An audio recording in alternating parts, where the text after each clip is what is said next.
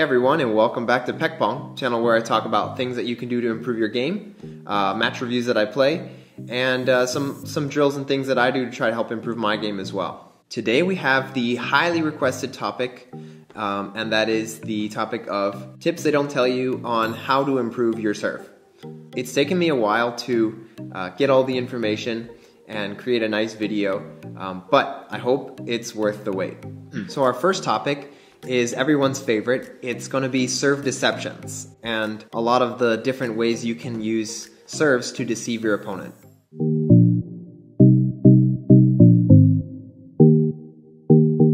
So the first one we'll cover is the two-way Timo Boll serve.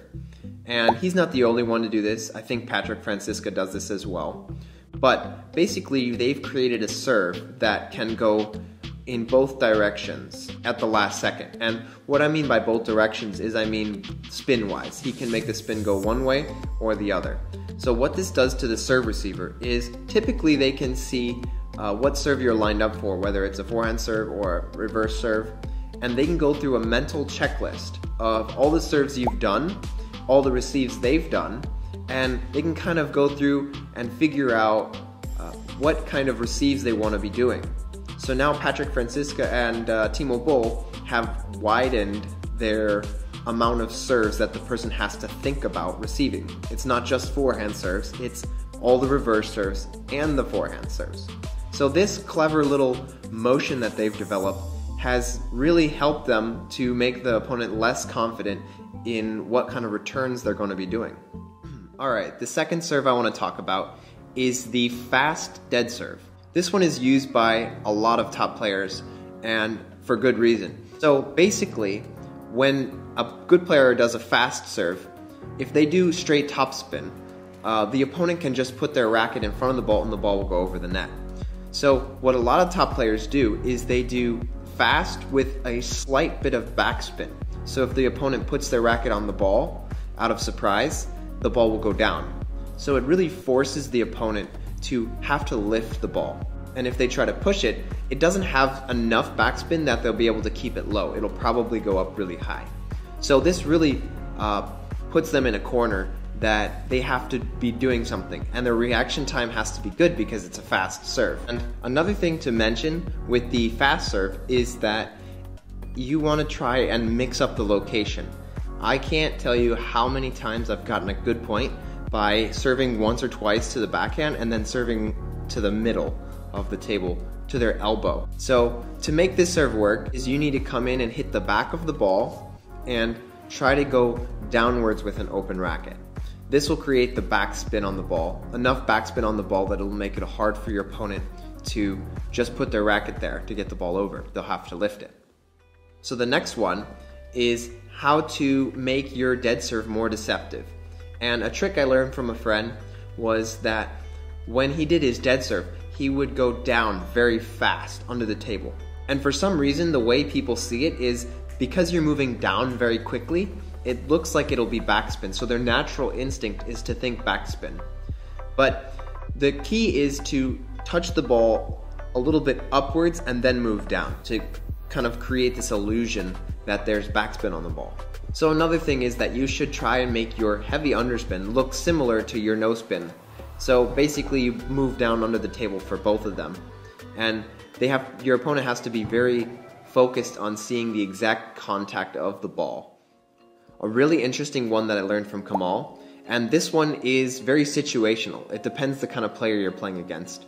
But um, if your opponent is really focused on playing short, uh, like it's getting 8 8, 9 9, or whatever, and they're just dead set on playing short because it's been working for them. Kamal said that you can serve a little bit of a higher dead serve. And what this stops your opponent from doing is playing short because the ball, normally, if it's staying low, it's very easy to keep it low.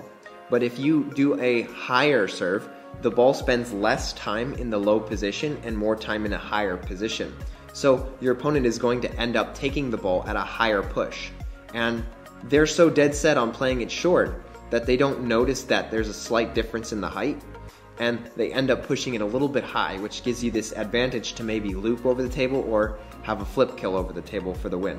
It's a really fun serve because You'd normally think that all serves have to be low, but this serve really works if your opponent is really dead set on playing short. Um, because they don't really notice these little discrepancies in the in the bounce. Another really great serve tactic is to play the ball really short. I know this one works because uh, people do it against me, and it's very annoying um, because I like to flip people's serves. If you can serve the ball very short, uh, it's going to stop them from flipping because they have to really reach for the ball. And when they really reach for the ball, their range of motion becomes very limited and they're not able to touch the ball they would normally do. Uh, if you're playing the ball very short and they want to push push the ball short, it's probably going to be a little bit easier. So this tactic is best used for people who are trying to attack your serves. In order to do this serve, you need to be hitting the ball closer to the net on your first bounce. If you're hitting closer to your edge of the table, it's going to create a lot of residual energy, and that energy will carry over and make it a lot longer. So this is a serve tactic that I found that works for me. I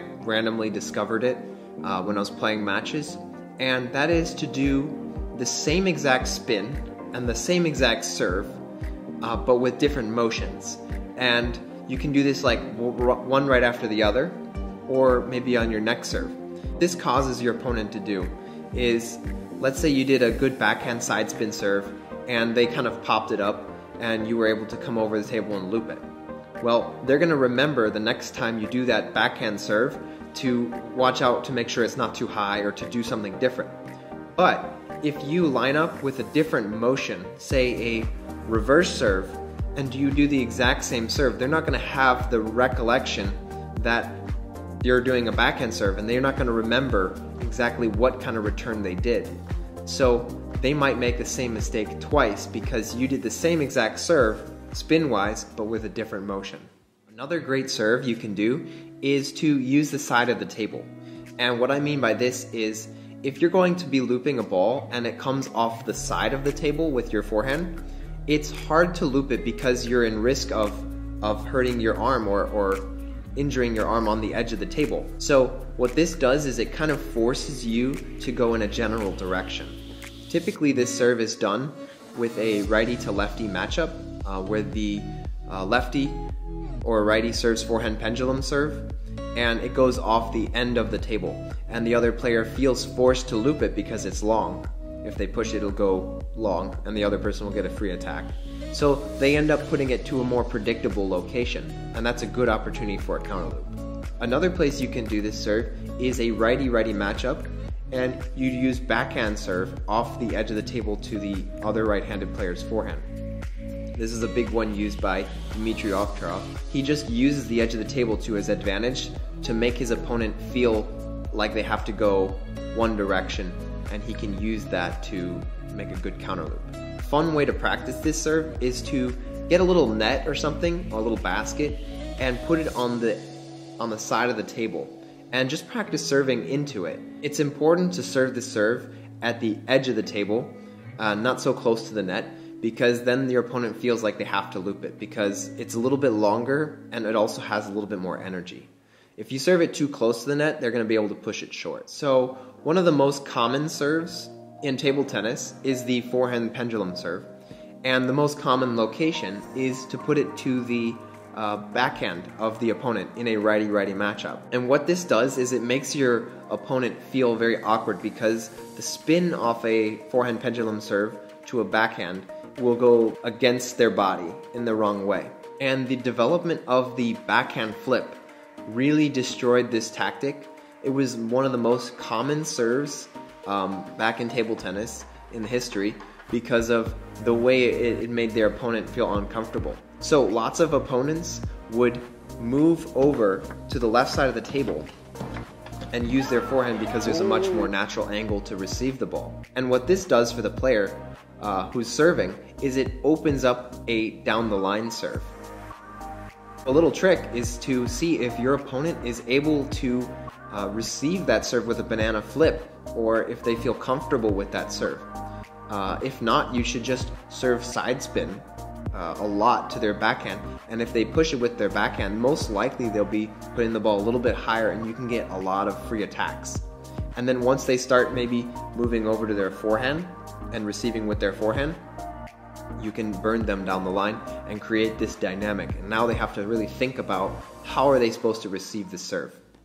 Another tactic you can do to disguise your serve is after you touch the ball to change the angle of your racket very quickly. It makes your opponent have to be very focused on the contact when you touch the ball because a lot of times players will just continue on with the same racket angle after they touch the ball and that gives the opponent the ability to see what kind of spin um, was on the ball because they just kept the same angle. If you change the angle very quickly after the serve, they're going to have a lot harder time seeing uh, what what kind of spin you put on the ball. Some of the best servers in the world use this tactic uh, very effectively. They are able to change the racket angle into a position that looks like the opposite of what they spun, as well as changing their motion to look like the opposite of what they served. So they have a, a good topspin serve, they're able to disguise it and make it look like a backspin serve with not only their angle afterwards, but their motion before. Basically, the follow-up is what you do after your serve. And this can make your serve a lot better if you have a stronger follow-up. Your opponent will feel a lot more pressure to make a better return if they know that your follow-up is extremely strong. So they're more likely to make a lot more errors because they probably feel like they have to do something, uh, maybe keep it a little bit lower or loop it a little bit stronger or try a placement that they're not so comfortable with. Making them do these things that they're not comfortable with uh, is going to make your serve actually stronger. So it's not the fact that your serve is so good, it's the fact that your follow up is so strong that makes your serve better. A really good example of this is the match between Darko Jorgic and uh, Lin Yun Ju in the Olympics. Lin Yun Ju's serve is, to begin with, very good, and his follow up is also top tier. So, these two things combined, it made Darko feel very uncomfortable with the returns. Anytime he made a weak return, the point was basically over because uh, the third ball of Lin was so strong. So, this really made him feel forced to make strong returns, and consequently, he missed a lot of them because he felt uh, the pressure to make good returns.